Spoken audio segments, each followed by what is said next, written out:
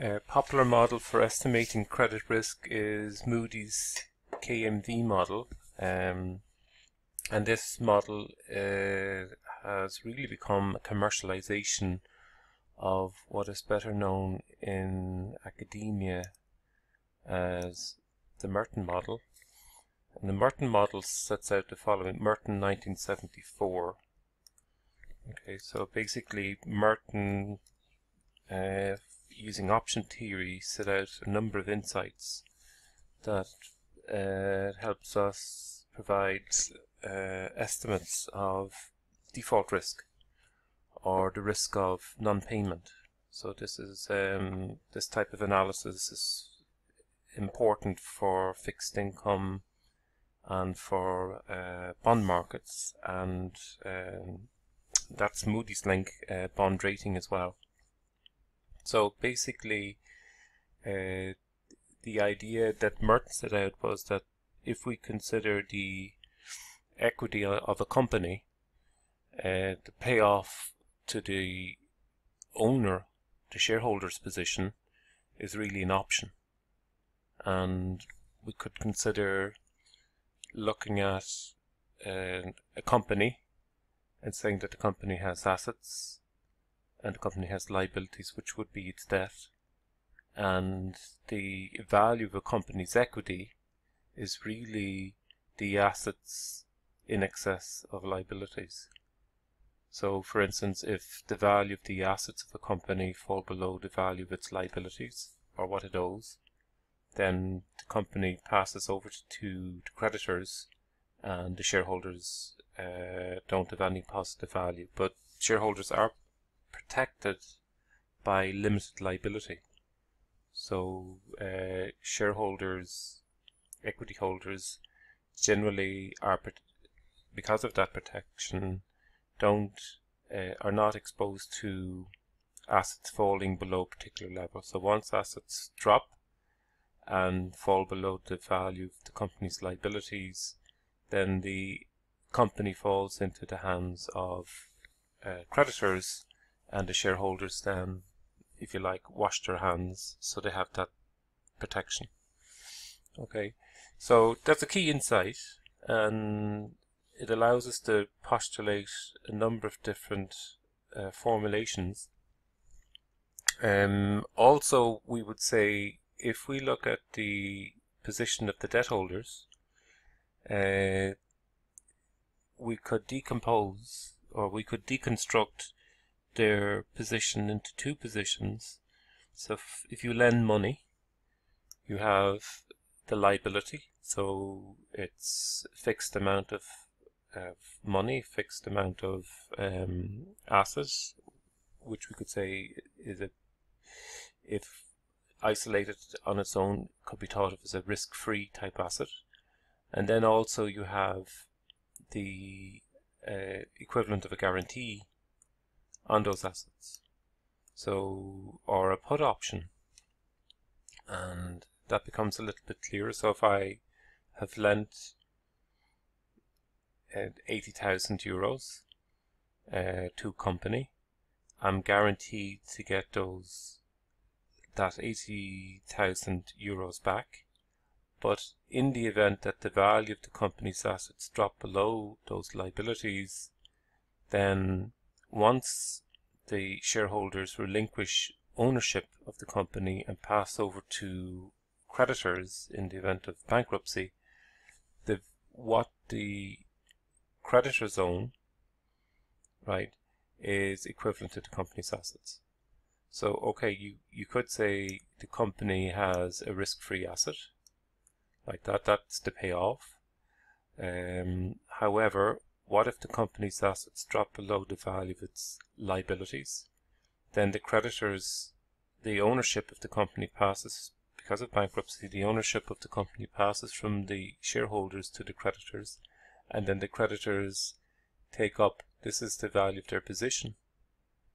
So we could think of this as two positions, one a risk-free asset, as such, and then we could think of the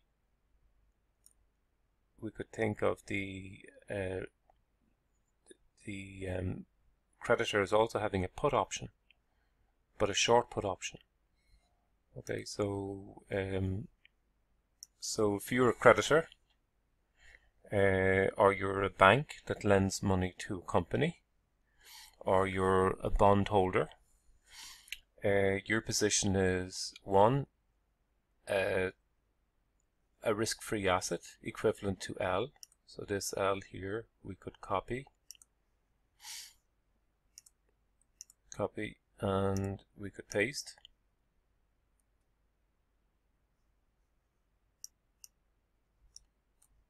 So we could think of L uh, sitting here. Okay, so you own uh, an asset worth uh, whatever 100,000 or 80,000 euros. but you also have a put option on the company's assets. And as the value of the company's assets fall below those liabilities, you incur the losses sustained on the position. So if we were to combine these two together, what we would have the combined combined com, combined position of the risk-free asset and the put option on the assets of the company is equivalent to the debt holder's position or the creditor's position. So it's equivalent to risk-free debt, risk-free debt L plus a short guarantee or put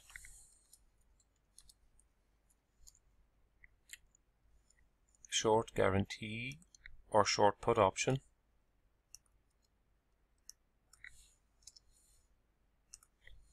short put option on the assets of the borrower with an exercise or strike of L. Now with that insight, with that insight, uh, we can set out this type of construction that the shareholder's position, the equity position is equivalent to a call option. And if we were to change the time horizon to incorporate uh, the value, what is the value of that shareholder's position looking to the future, then uh, we we can move from looking at the intrinsic value of an option, intrinsic value of an option, to when we look at a ex ante position or a forward looking looking position we can look at the equity as having a time value equivalent to that set out by Black-Scholes. So typically when we want to model uncertainty, we can say the value of the shareholding is equivalent to the difference between the assets and liabilities, where the assets don't have when we look at the shareholders' position, they enjoy a heads I win, tails you lose type proposition. So their exposure is uh, a positive one in that if the value of the assets fall below the value of the liabilities, the shareholder uh, doesn't continue to absorb those losses. He passes those losses on to the creditors. So it's equivalent to a call option and using a time time value paradigm or a Black-Scholes paradigm, we can model the value of the equity as being a call option in the same way as we would typically model the value of a call as being the difference between an asset and a strike. In this instance, the strike or the exercise is the liabilities. This is the fixed component. The liabilities are the exercise and the assets uh, if you like, normal cumulative probability of D1 minus the liabilities E negative RT, uh, the normal cumulative probability of D2, gives us the value of the equity position. Okay, so that's a key insight uh, uh, developed by Merton, Robert Merton in 1974. Okay, a couple of things here probably stressing if the value of the assets then fall below the value of the liabilities at maturity, we're in a position of default. And that gives the shareholders heads I win or tails you lose asymmetric payoff. When A is less than L, the shareholder or the equity holder relinquishes their claim on the company's assets and they can walk away. And this implies that the shareholder enjoys a long put or the debt holder, creditor, uh, is exposed to a short put. Okay, so there, the walkaway option that the shareholder has is reflected by an obligation imposed on the uh, debt holder or creditor. So whoever's lending the money is exposed to short put option. Okay. Now this this Merton insight has led to development of KMV model, a commercialization of the Merton model, and typically you can set out you can model default probabilities. You can model the default of credit or model the, the, the risk of non-payment. So if you if you own if you hold uh, a debt in a company, you run the risk of non-payment. But that non-payment occurs when when the value of the assets fall below the value of the liabilities. So we could construct um, a normal distribution here, so long as the values of the assets and liabilities are expressed in um, natural logs. And we could simulate the value of the assets over time. And if the value of the assets drop below the value of the liabilities, then we're in default. And so the probability of the assets falling below L then constitutes the risk of, of default and provide us with a very nice way of estimating credit risk. Now previously I had illustrated how we might generate this type of random walk um, type behavior. So we'll go to, um, I had modeled, and this is consistent, again, the basic framework might be we could consider something like this that the let's say we have a bank's balance sheet so this is the balance sheet of the creditor and they have lent out 100 euros or 100,000 euros or 100 million euros they have borrowed they have liabilities. Their own liabilities are money that they have taken on behalf of other people. This tends to be uh, fixed. You can't really change this once you've borrowed. The bank must take in deposits to lend out, and they fund themselves with 80, let's say 80 uh, euro deposits, and then have a, uh, equity stake of 20 if the value of the loans, let's say the mortgages or whatever's been lent out fell to 90, that's no problem, then the value of the assets are equal to 90.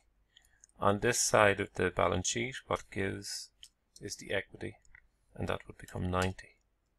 If the value of the loans fall to 80, because of default, etc., then the value this side of the balance sheet is also 80, and what gives on this side is the equity. However, if we then subsequently fall to a value of less than 80, 70, then at this point it's no longer the equity that it becomes negative because that's heads I win, tails you lose. It's a asymmetric type exposure. There's limited liability. It's now the deposits those deposits now can only be worth, that's what's going to be affected, unless there's a government bailout or some other third party. And then you can see we're in default. So this is what we're trying to model.